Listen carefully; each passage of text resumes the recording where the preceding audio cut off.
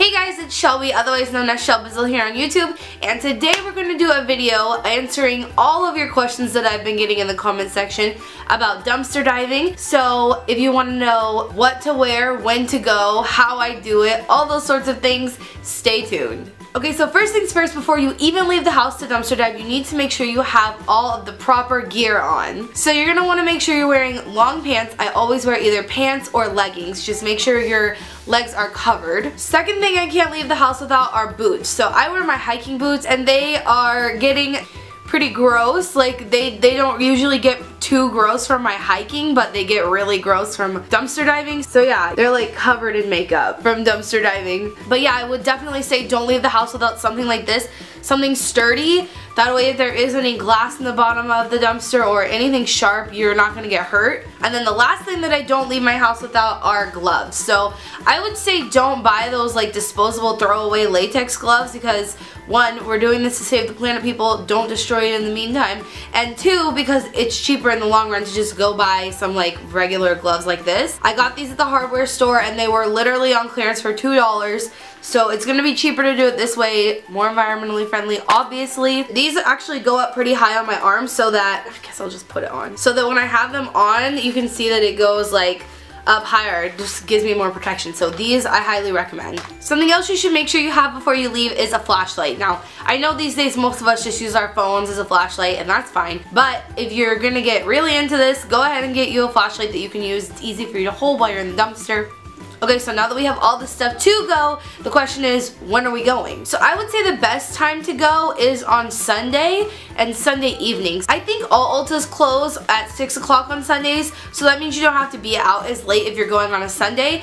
I would still though say wait a few hours after they close. So they close at 6. I usually go around 9 on Sunday. If you're to go any other day of the week, usually Ultas close at 9. I would still say give them a few hours to close. Just make sure they're gone before you go. You don't want them to come out and catch you in the act. So I would say on any other day, go at around midnight. The most important thing to remember is really try not to get caught. And we'll get into the laws and stuff like that later, but Further than that, it's you don't want the company to catch you because you don't want them to know that someone's going through their stuff. If they don't know, they're less likely to destroy the items and you'll be able to get a lot more quality makeup items if they don't know that you're going through them. So if your Ulta has security, I would say skip out on that, which is unfortunate, but if you start getting caught, they're just gonna destroy the stuff and then no one's going to be able to get the stuff out of the dumpster. So as far as security and law enforcement goes, dumpster diving in the United States is legal. However, your state, your city, your county, your wherever you live, as the chain of command goes down, they can enforce more laws. But if you live in a smaller city or if you live in a, in a town, whatever, wherever you live, call your city of wherever your Ulta is and ask them what the regulations are. That's the easiest way to figure it out. You don't want to go about guessing if it's legal or not because if you do get caught and it is illegal, well that's not gonna be good. If it is legal in your state and you get caught by security, don't argue with them. It's just not worth it. I know that we think what we're doing is good and it should just be a chill thing to do, but if they ask you to leave, don't put up a fight because you don't want to cause trouble. We don't need to make a scene and then, like I said, inevitably get our stuff destroyed more. Another thing is when you're diving, please don't leave a mess. I know a lot of new divers don't realize it, but you should not be pulling stuff out of the trash can and putting it on the ground and making a mess everywhere get in the dumpster. If you're dumpster diving, get in the dumpster, get over it. And you can pull apart bags in there and do whatever you need in there, but don't make a mess around the dumpster.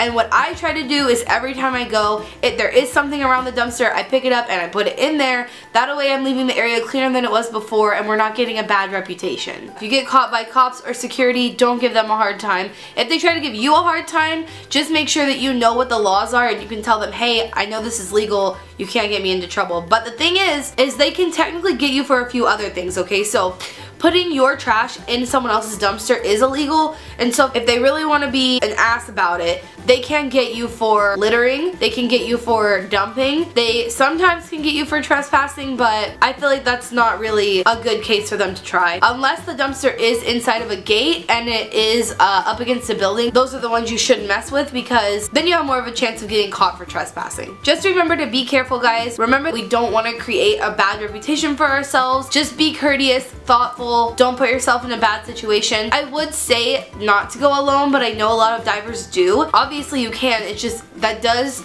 to me seem very dangerous to be behind dark buildings at night by yourself. So what I do is I just make my girlfriend go with me. She sits in the car. If anybody is coming by, she yells at me so that I don't stand up and people see me in the dumpster. And if you're trying to convince friends to go with you, just show them videos like the ones I posted that have stuff in there. Show them how much cool shit you can get. If they're grossed out by it, just don't even, don't even deal with them. And I think that's it for the tips and tricks and things like that. Other than that, some of you guys have been asking me in the comment section if I sell the things I find.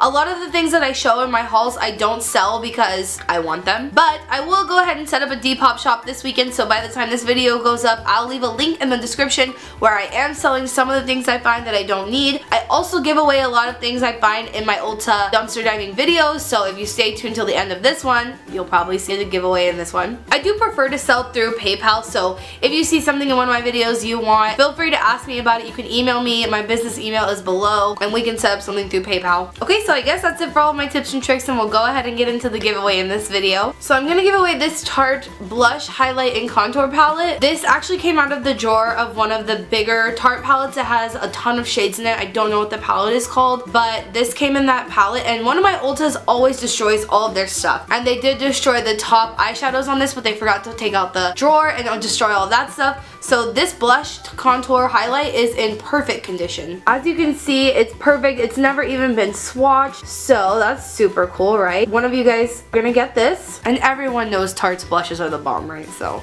to go with that, you're gonna get this Real Techniques stippling brush. I know Real Techniques has a lot of good brushes. This is their stippling one. It just looks like this. You guys, you guys are probably familiar. And then like I said, this giveaway isn't to be too big, but then I also have two NYX liquid lipsticks. I think these are called the soft matte lipsticks. Yeah, soft matte lip creams. And there's two of them. When I found them, they were brand new. They've never been used. They were in the plastic, but I took it off to make them look cleaner. So these are in the shade Cairo and Ibiza? I-B-I-Z-A? I've never heard of that one, but it's this one. It's like a red pinky color. And then there's also this one, which is Cairo, which is like a super nude. So these two. So yeah, all you have to do to win all of these items is leave a comment down below telling me why you think dumpster diving is so cool. This time we're not going to do that you have to like my Facebook page. This time you have to share a picture on Instagram. So I'll insert a picture right here of what it looks like. You can go find it on my Instagram that has the same username as my Facebook, Instagram, Twitter, YouTube. It's all the same. You'll go share that picture and you'll tag me in it and then that will enter you to win this giveaway. You also do have to be subscribed to my channel and you have to like this video. So yeah, leave a comment, share my my picture on Instagram. All my social media things will be linked in the description bar below. Also, the rules to the giveaway will be down below in case I didn't make sense to you. And that's pretty much it, you guys. If you have any other questions for me about dumpster diving, I will answer them in another video. I upload dumpster diving videos every Sunday, so stay tuned for that. My name is Shelby. You can find me on all my social media, like I said, at Shelbizleee. And until next time, create the peace. Oh my gosh, you guys, I forgot to tell you that I did my makeup today with the peanut butter and jelly palette. In my last dumpster dive, oh, my last Ulta dumpster dive, I said that I wasn't sure if I liked it, but like I did this with it and I really like it. I feel like I did so good. I'm really proud of myself. What do you guys think? What do you think? What do we think?